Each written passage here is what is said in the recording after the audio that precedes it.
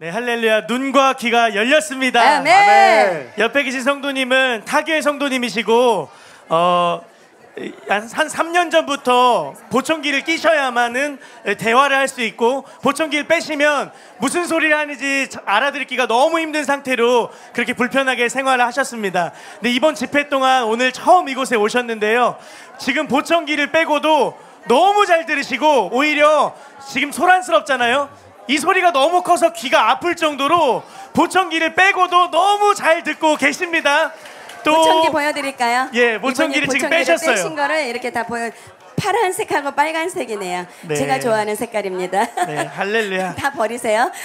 그리고 또한 우리 성도님은 3개월, 아, 2개월 전에 백내장 수술을 하셨습니다. 근데 수술 이후에도 이 양쪽 눈의 시력이 이렇게 선명하게 보이지가 않아서 굉장히 고, 고생을 하셨는데 오늘 집회 참석하시고 기도를 받으시고 지금 너무 선명하게 잘 보인다고 지금 너무 기뻐하고 계십니다. 할렐루야. 우리 성도님이 치유를 처음 경험하셨대요. 그래서 지금 너무 기뻐하시고 너무 즐거워하고 아멘. 계십니다. 아멘. 할렐루야. 눈과 귀를 여신 주님을 찬양합니다. 아멘. 아멘.